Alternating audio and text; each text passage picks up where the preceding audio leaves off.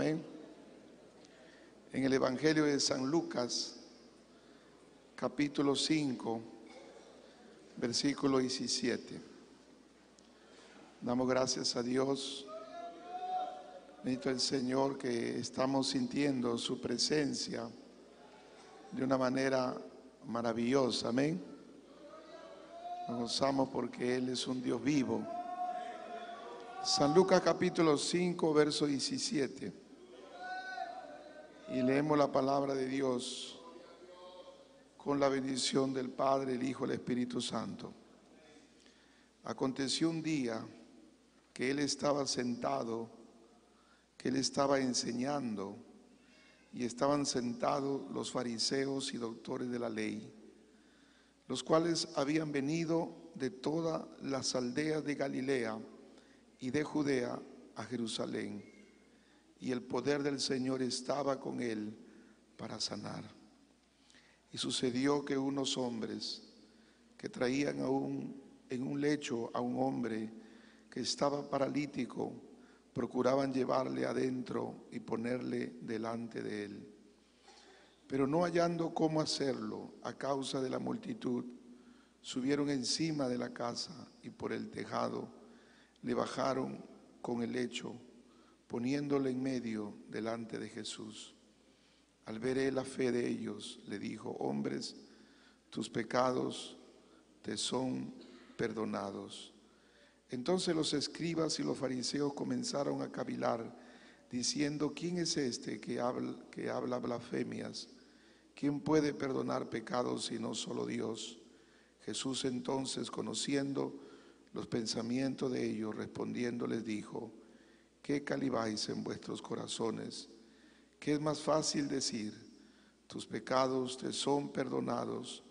O decir, levántate y anda, pues para que sepas que el Hijo del Hombre tiene potestad en la tierra para perdonar pecados, dijo al paralítico, a ti te digo, levántate, toma tu lecho y vete a tu casa.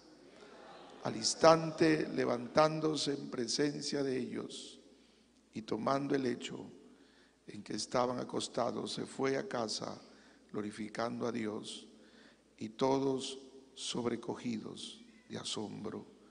Glorificaban a Dios y llenos del temor decían hoy, hemos visto maravillas.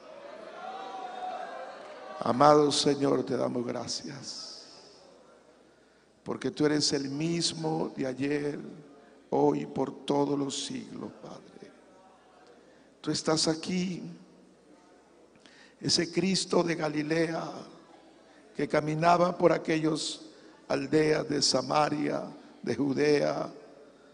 Tú estás aquí esta noche, Padre, para levantar y sanar la parálisis porque hay parálisis en el alma, parálisis en el corazón. Pero tú esta noche nos levantarás, nos levantas esta noche para caminar el camino de la vida. Atamos las obras del maligno, los dardos de fuego de maldad. Destruye toda obra las tinieblas. La sangre de Jesús tiene poder, Padre Sana toda enfermedad esta noche, toda dolencia emocional, espiritual, Padre. Y levanta tu iglesia con poder para gloria de tu nombre, en el nombre de Jesús. Amén y amén. Gloria al Señor. Pueden sentarse, hermano, dando un gloria a Dios fuerte. Amén. Bendito es el nombre de Jesús. Esta noche vamos a hablar sobre este tema. Levanta, toma tu lecho y anda. Gloria al Señor. Vemos que Jesús, su nombre significa Salvador. Él era el Mesías príncipe, que Él venía, gloria a Dios, a este mundo. Porque el primer Adán, el primer Adán que el Señor lo hizo del polvo de la tierra, lo puso en un huerto maravilloso y ahí le entregó a su esposa para que se forme la primera familia de la humanidad. Le dio leyes y preceptos, pero Adán falló, su esposa falló. Fueron arrojados, gloria al Señor, de ese lugar. Desde ahí Dios buscó restaurar al hombre. Desde ahí Dios buscó levantar al hombre porque el hombre cayó, cayó por el pecado, cayó por la desobediencia a las leyes de Dios. Y desde ahí Dios se preocupó con un amor tan grande de levantarlo, de restaurarlo. Alabado sea el nombre de Jesús. ¿Cuánto dicen amén esta noche? ¿Cuánto dicen amén? A su nombre sea la gloria. Y vemos que aquí el Señor declara la primera promesa de restauración. En el capítulo 3 del libro de Génesis, bendito el Señor. Y le dice, verso 14, y Jehová dijo a la serpiente, por cuanto hiciste esto hiciste, maldita serás entre todas las bestias, entre todos los animales del campo. Sobre tu pecho andarás y polvo comerás todos los días de tu vida. Y pondré enemistad entre ti y la mujer, entre tu simiente y la simiente suya. Este te herirá en la cabeza y tú le herirás en el calcañar. Este fue el primer grito, la primera sentencia de que iba a venir un Salvador, que iba a vencer a Satanás para siempre. Y Cristo lo venció en la cruz, alabado su nombre. Por eso que toda potestad es dada a Dios, a Jesús, en el cielo y en la tierra.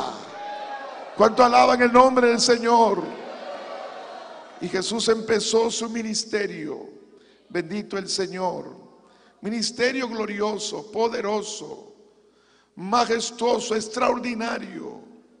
El Espíritu Santo, y después de haberlo llevado a que él sea bautizado en el río Jordán, dice la Biblia que el cielo se abrió. Bendito, una voz del cielo se oyó diciendo, este es mi Hijo amado en quien tengo complacencia. Y el Espíritu Santo descendió en forma de paloma, y se posó sobre su cabeza. Ahí estaba la perfecta Trinidad, el Padre, el Hijo y el Espíritu Santo. Y fue lleno del poder y fue llevado al desierto a ayunar 40 días y 40 noches. El ayuno fue un ayuno total, sin comer y sin beber y fue lleno del poder de Dios. Los demonios temblaban cuando Jesús llegaba a un pueblo, los demonios temblaban. Cuando Jesús llegaba a una ciudad, los paralíticos caminaban, los ciegos veían, alabado, los mudos hablaban. Cuando alaban el nombre del Señor, los leprosos eran sanados, alabado su nombre. Bendito el Señor. No había enfermedad, no había demonio que no se pueda doblegar. Su fama comenzó a crecer y la religión judaica, encabezado por sus máximos líderes, comenzaron a verlo como un enemigo. Porque la gente lo seguía en multitud y sus templos de ellos se vaciaban. Es que estaba en él la gloria. Él era la palabra revelada. Él era el gran ungido, hermano. Alabado su nombre. Dice la Biblia que se levantaba muy de mañana y se iba al monte a orar. Y había noches que se amanecía de rodillas en vela. Jesús fue un hombre de vigilia. Jesús fue un hombre que se levantaba de mañana, iba al monte, ahí rendía su alma de dónde procedía ese poder era, era de la oración del fuego que venía del cielo por su vida de oración. Cuando alaban el nombre del Señor. Y su fama iba corriendo, hermano. La gente lo quería tocar porque había corrido que tan solo tocando el borde del manto uno recibía la sanidad. Los muertos resucitaban, los muertos eran levantados, hermano. Y Jesús antes de ascender a los cielos dijo, y estas señales seguirán a los que creen en mi nombre. ¿Y cuánto hemos creído esta noche en ese nombre precioso de Jesús? Alabado su nombre. Y llegamos a este pasaje muy, muy grande, hermano, muy hermoso. Dice que comenzó un, aconteció un día que él estaba sentado y dice, él estaba enseñando la palabra de Dios. Casi la mayor parte de su ministerio, el Señor lo pasó enseñando, hermano. La mayor parte de su ministerio fue enseñar. Completó la otra parte con la predicación. Pero la mayor parte del ministerio fue enseñar. Mire, él enseñaba. Él fue un maestro extraordinario. Y dice la palabra de Dios, aconteció el día que de que él estaban sentados y estaban estaba enseñando y estaban sentados los fariseos que pertenecían a la religión judaica eran religiosos de este tiempo, que amaban a Dios con sus labios, pero su corazón estaba lejos de Dios. Eran hombres que aparentaban piedad, pero en su corazón había envidia, había celo, había hipocresía. Por eso la palabra fariseo significa hipócrita doble cara. Una cosa es, como hay fariseos, una cosa son en la iglesia y otra cosa son afuera. Hoy la psicología le llama a ellos bipolares. O sea, tienen doble personalidad. Y la mayoría de psicólogos son bipolares. ¿ah? No se molesten conmigo. Son bipolares.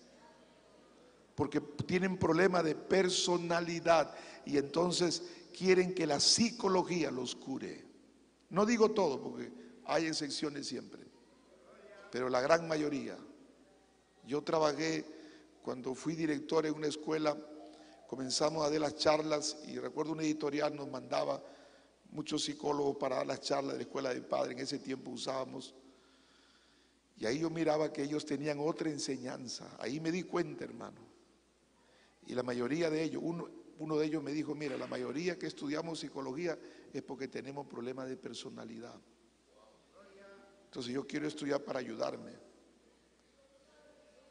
Y muchos psicólogos tienen problemas psiquiátricos. Como muchos psiquiatras, hay un psiquiatra famosísimo que se ha vuelto loco, el Emilio Valdizán, ahí cerca de la cartera central. Lo paran en la puerta porque ya no está loco. Dice que es Napoleón Bonaparte II. Se volvió loco el psiquiatra. Mire. Y ellos dicen que leyendo la Biblia se vuelven locos. Ellos dicen. Más bien ellos se han vuelto locos porque no leen la Biblia. Alábale al que vive para siempre. Alábale, hermano. Parece que no hay alabanza. ¿Qué pasa? Parece que estamos en un cementerio. ¿Qué pasa, hermano? Tiene que alabar. Estamos saliendo en vivo en Facebook, hermano. Si quiera que le vea y lo ponchan ahí, están durmiendo, hermano. ¿Qué pasa?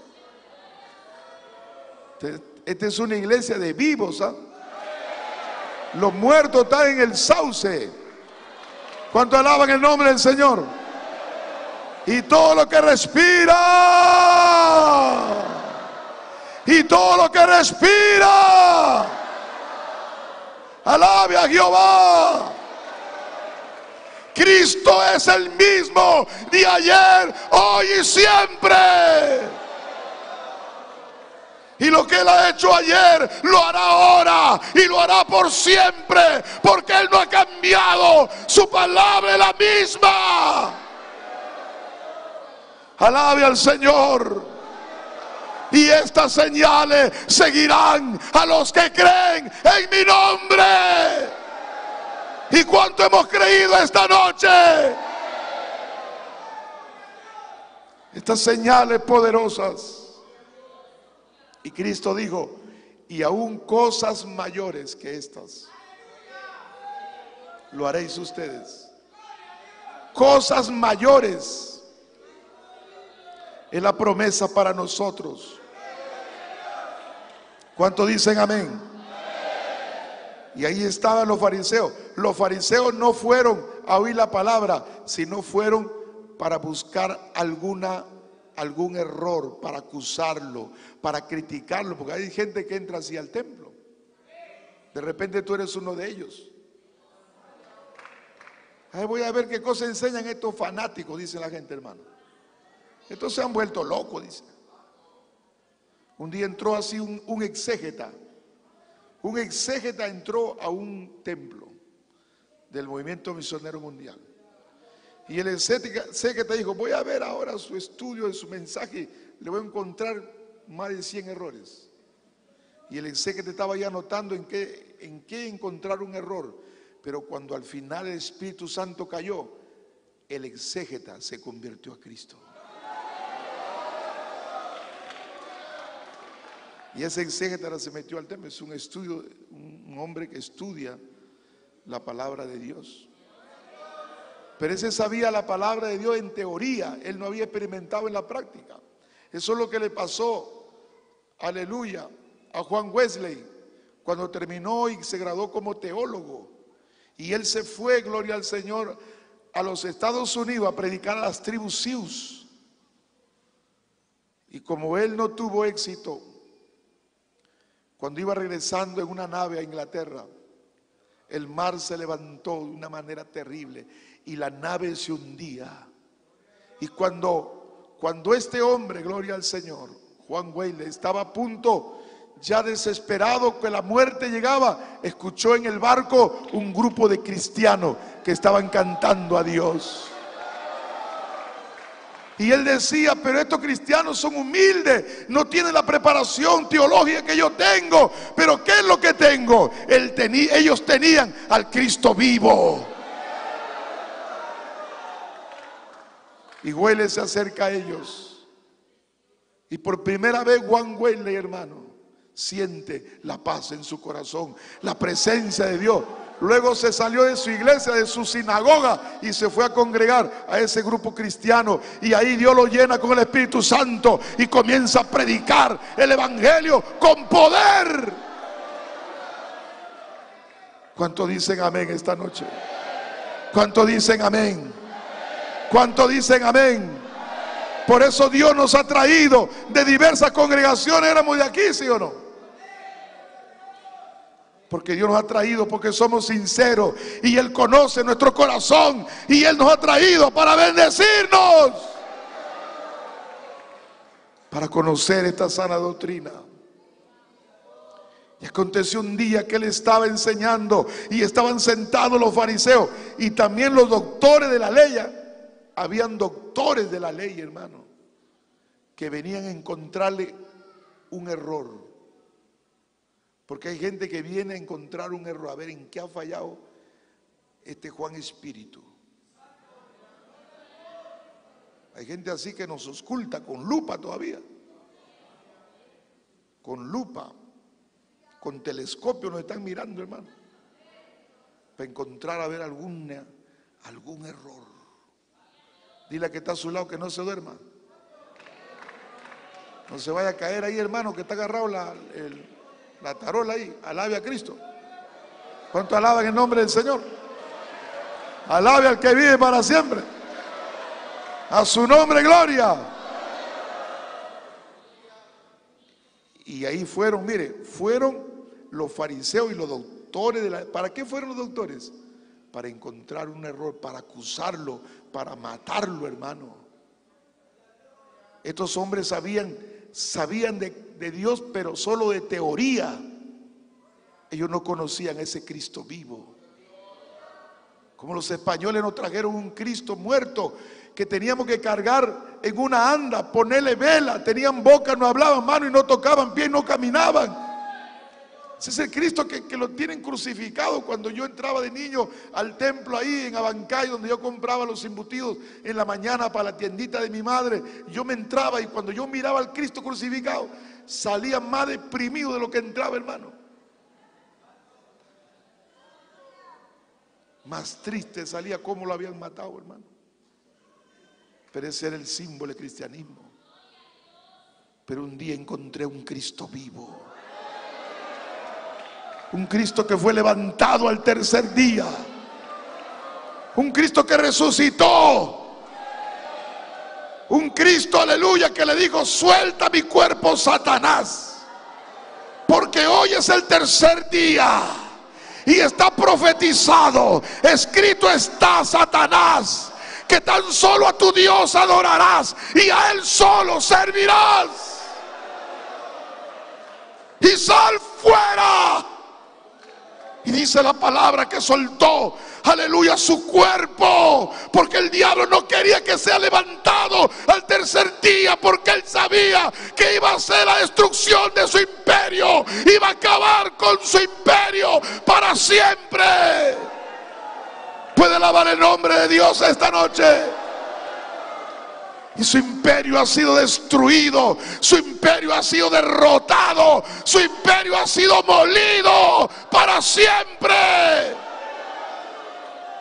Por eso somos más que vencedores. ¿Cuánto alaban y cuánto pueden levantar su mano?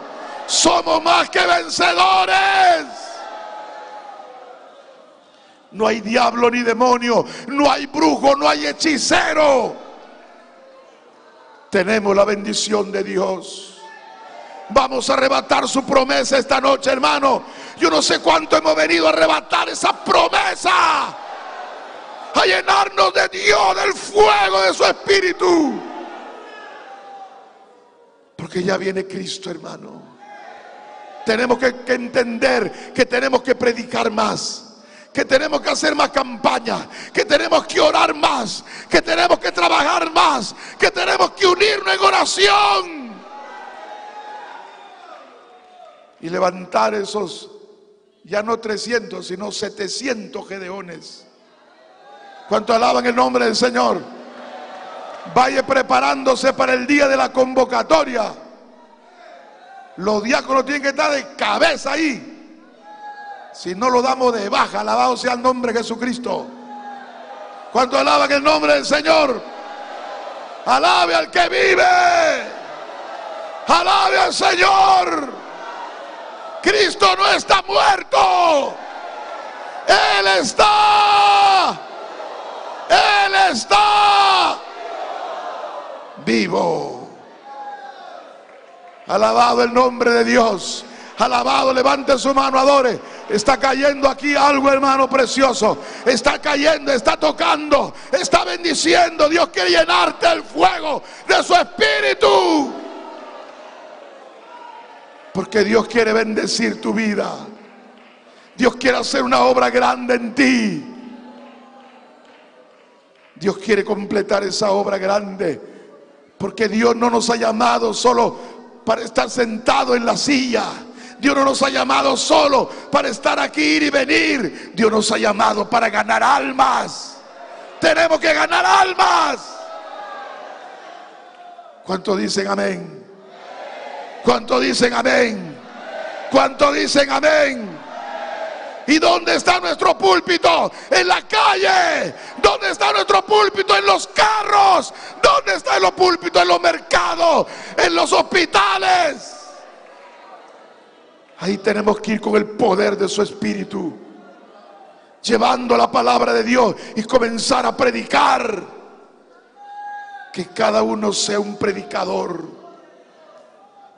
y, hable su testimonio, porque el mayor impacto de un cristiano es su testimonio. No hay argumento humano, no hay argumento psicológico, filosófico, sociológico no hay argumento humano que derrumbe un testimonio. Porque eso, eso impacta. Eso es algo extraordinario. Como Dios ha cambiado. ¿Cuánto alaban el nombre de Jesucristo? ¿Cuánto alaban el nombre del Señor? Y ahí estaban los fariseos, los doctores de la ley, los cuales habían venido de todas las aldeas de Galilea, Judea y Jerusalén. Y el poder del Señor estaba con él para sanar. El poder de Dios estaba con él. Y si el poder de Dios está con nosotros, no habrá ningún argumento humano, no habrá ni un argumento terrenal. Necesitamos poder, necesitamos poder con urgencia, necesitamos poder, no poder político, porque eso no sirve. Eso no va a cambiar el Perú. Necesitamos el poder de Dios. ¿Cuánto alaban el nombre del Señor? A Él sea la gloria. A Él sea la gloria. A Él sea la gloria. Y el poder del Señor estaba con Él para sanar. Y sucedió que unos hombres encontraron, estaban yendo aquella cruzada evangelística y encontraron a un paralítico. Estos hombres tenían fe. Estos hombres sabían que si ese paralítico llegaba donde estaba, Jesús iba a ser sanado. ¿Cuánto alaban el nombre de Dios? Y sucedió que estos hombres que traían en un lecho a un hombre que estaba paralítico, procuraron meterle dentro del lugar donde estaba Jesús enseñando y ponerle delante de él, pero no hallando cómo hacerlo, a causa de la multitud, subieron encima de la casa. Ellos dijeron, no, tenemos que llevar a ese hombre delante de Jesús. Y no había, no entraba ni un alfiler, hermano. El local estaba lleno de gente. El local estaba abarrotado de gente. No entraba ni un alfiler. Estos hombres eran de fea, que no se dan por vencidos. Hay gente que dice, a la tercera va la vencida. Nada que a la tercera, hermano. Tenemos que persistir hasta vencer. Cuando alaban el nombre de Dios. Tenemos que avanzar hasta obtener la victoria. Y en esta noche hemos venido a avanzar a obtener la victoria de Dios. ¿Cuánto alaban el nombre de Jesucristo, hermano? ¿Cuánto levantan su mano esta noche y adoran a Dios? Levanten su mano y adore a Dios. Adore al Señor. Cristo vive, Cristo vive. Y estos hombres dijeron, no hay cómo meterlo. Pero uno dijo, por el techo. Es como decir, si esto está ahí llenecito, hermano. Y esos hombres dijeron, no, no, vamos a levantarnos acá arriba, levantamos la calamina y por ahí lo bajamos. Y estos hombres se subieron rapidito, mire, subieron al paralítico, hermano. Estos hombres eran eran valientes, eran de guerra, hermano. No como esos cristianos. No, muy difícil. Me da fatigo, me fatiga mi corazoncito, hace pum pum. Señor, reprenda al diablo. ¿Para qué tanto esfuerzo si ya Cristo viene? Mire esa mentalidad de cristiano, hermano. Pero estos hombres, hermanos, se treparon eran agilitos, hermano. Eran valientes. Y se subieron arriba y de arriba abrieron. Y de pronto cuando Jesús estaba predicando, estaban bajando un paralítico, hermano. Y todo el mundo ya no miraba a Jesús, sino... Y el paralítico iba bajando ahí con su soga, hermano. ¿Cuánto alaban el nombre de Jesucristo? ¿Cuánto alaban el nombre del Señor? Alabe al que vive para siempre. Alabe al que vive para siempre. Y cuando vieron la forma de cómo hacerlo, subieron encima de la casa por el tejado, le bajaron con el, con el lecho, poniéndole en medio delante de ellos. Al ver él la fe de ellos, al ver él, al ver Jesús la fe de ellos, les dijo, hombre, le dijo al, al paralítico, hombre, tus pecados te son perdonados. Y ahí estaban los doctores de la ley, ¿eh? estaban los fariseos. Ellos dijeron, eso es una herejía. Eso es una blasfemia. Solo Dios perdona. ¿Cómo este va a decir, perdón, ya con esto lo acusamos? Pero ¿por qué le dijo al paralítico, tus pecados te son? Porque es el pecado. Este hombre, mire, dice la Biblia que por un hombre entró el pecado. Y por el pecado entró la muerte, dice el escritor a Romanos. Y por el pecado entró la enfermedad. Por el pecado entró la miseria, entró la esclavitud. El pecado es lo que destruye. Por eso dice la palabra que el diablo ha venido a robar, ha venido a matar, ha venido a destruir. Pero el Hijo del Hombre ha venido a dar vida y vida en abundancia. El Hijo del Hombre ha venido a dar vida y vida en abundancia. Y en esta noche aquí no hay muerte. En esta noche aquí hay vida. Porque aquí está Cristo, hermano. ¿Por qué le dijo? Porque el pecado de ese hombre lo llevó a esa parálisis. El pecado lo había destruido este hombre que había terminado tirado en una posilga. Pero Cristo vino a buscar y salvar lo que se había perdido. Él vino a levantar al caído, al hombre que ha descendido a lo más bajo de su condición moral y Jesús vino, por eso le digo, tus pecados te son perdonados. Pero también se entendía que cuando Él decía, tus pecados te son perdonados, aleluya, Él también automáticamente le daba la sanidad. Y cuando Él dijo esto, al ver él la fe de ellos, le dijo, hombre, tus pecados te son perdonados. Entonces los escribas, los fariseos comenzaron a calibar, a hablar diciendo, ¿quién es este? Que habla blasfemia. ¿Quién es este que perdona pecado? Si no solo Dios. Jesús era el Dios viviente, hermano.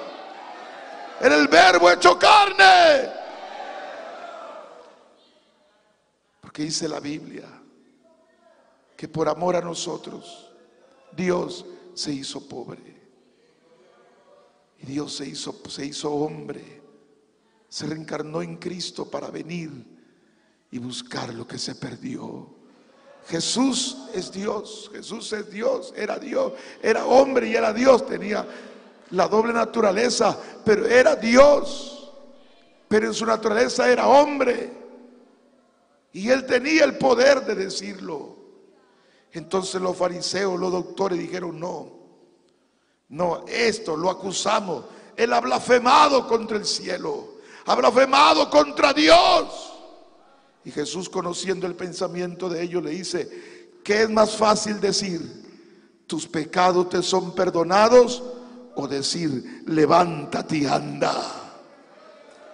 Pues para que sepa que el Hijo del Hombre tiene potestad en la tierra para perdonar pecado, dijo al paralítico, a ti te digo, a ti te digo, levántate, toma tu lecho y vete a tu casa levántate, toma tu lecho y vete a tu casa. Cuanto alaban el nombre de Dios. Y al instante levantándose en presencia de ellos y tomando el hecho en que estaba acostado, se fue a su casa glorificando a Dios. Y todos sobrecogidos en asombro glorificaban a Dios y llenos del temor decían, hoy hemos visto maravillas. Y ese Cristo está aquí. en esta noche para sanar esa parálisis. Usted sabía que hay una parálisis en el alma,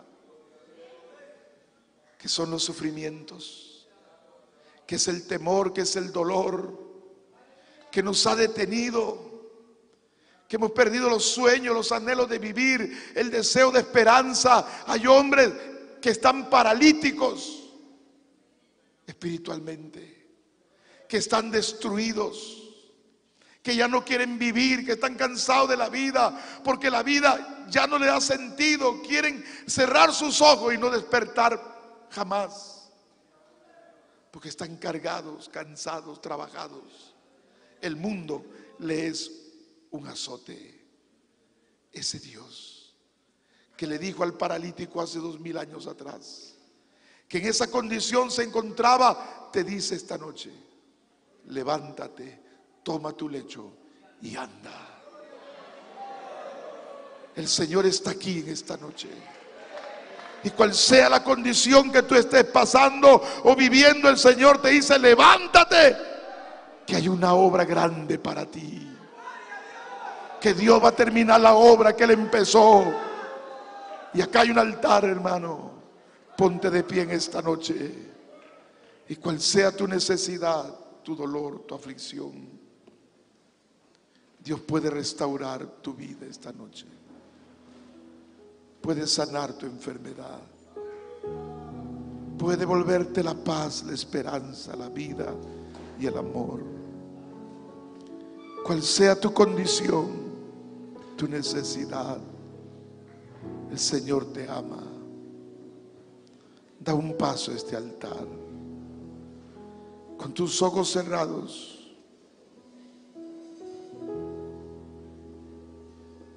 Tu corazón abierto.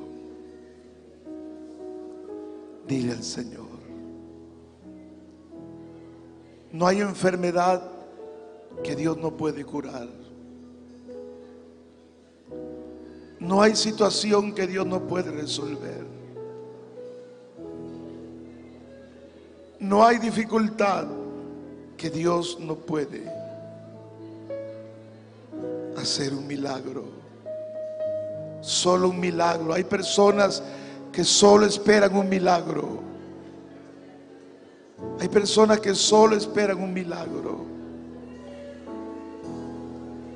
Esta es una noche de maravillas, de milagros. Es una noche de arrebatar la promesa de Dios. Es una noche de levantarnos, de tomar nuestro lecho. Toma tu lecho, levántate y anda. Y camandará bacaya. Esta noche levántate de esa condición. Levántate de esa situación que estás. Levántate porque Dios te ama. Dios va a hacer grandes cosas. Aunque los hombres te han desechado. Pero Dios no te ha desechado. Dios no te ha desechado. Porque Dios es amor. Porque Dios es misericordia. Porque Dios nos da oportunidades.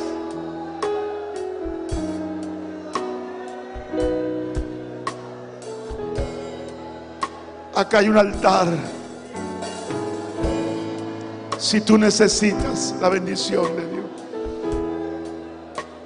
ven a este altar. Con tus ojos cerrados, tu corazón abierto. Dile al Señor esta noche, dile. Dile, Señor Jesús, dile. Dile, Señor Jesús, en esta noche te abro mi corazón. Te entrego mi vida, dile. Si en algo te fallé, si alguna cosa indebida hice, límpiame ahora, santifícame, perdóname Rompe mis cadenas de vicio, de alcohol y de droga. Y me rindo a ti. Y te pido perdón, Señor, si en algo te fallé. Alguna cosa indebida hice. Gracias por tu amor. Gracias por tu misericordia. Gracias porque tú vives. Gracias porque tú me amas. Con amor eterno me amaste y prolongaste tu misericordia. Si tus pecados fueran rojos como la grana, serán emblanquecidos como la blanca lana. Solo cree, solo cree al Señor y Él hará la obra. Dile, Señor Jesús, en esta noche te entrego mi vida, dile. Te abro mi corazón. Si alguna cosa indebida hice, perdóname. Si yo pequé, límpiame en esta noche. Te recibo ahora como mi Salvador. Te recibo como mi Salvador. Te recibo como mi restaurador. Te recibo en mi corazón ahora. Entra a mi vida, cámbiame. Transfórmame. Límpiame con tu sangre. Lávame de toda maldad y de todo pecado. Rompe mis cadenas. Hazme libre. Por tu sangre preciosa por el poder de tu palabra. En el nombre de Jesús. Dile gracias. Levanta tu mano. Dios te sana de toda enfermedad. Dios te sana de toda dolencia. Dios derrama bendición sobre tu vida. Recibe, recibe, recibe sanidad, bendición. Recibe. Recibe esta noche. Dile gracias. Dile gracias. Dile gracias. Qué lindo. Dios te bendiga. Dios te bendiga.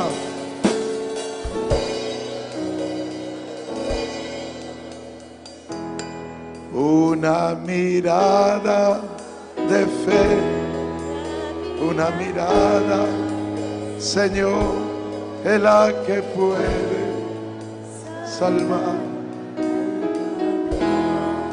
Dígalo. Una mirada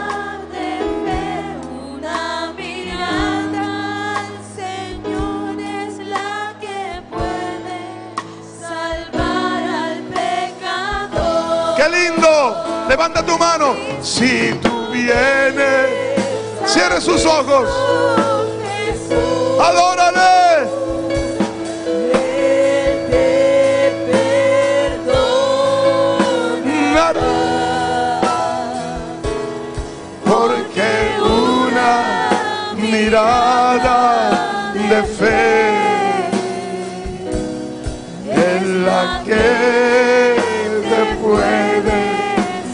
Salvar.